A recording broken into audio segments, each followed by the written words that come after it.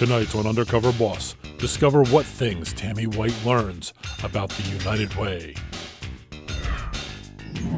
With a special disguise, she'll be unrecognizable to the LCS and staff team. Hi. Hi.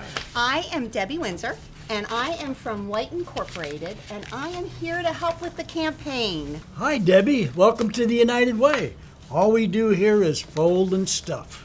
Well, this is exciting. I'm going to roll up my sleeves, and you know what?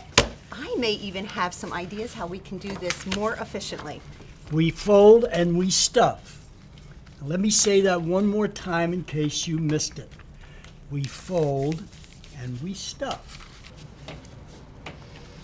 Hi, how are you doing over there?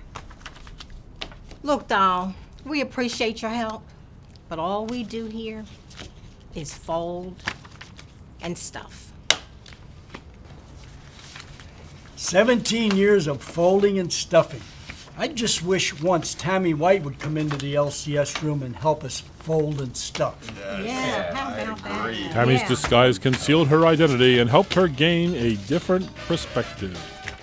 Was she worried about the potential for embarrassment before a national audience when she agreed to go on Undercover Boss? What a great experience. I have the utmost confidence in the team. And you know, I don't think there's any reason for concern at all. The LCSs are fabulous and they're gonna get the job done. We're not done folding and stuffing yet.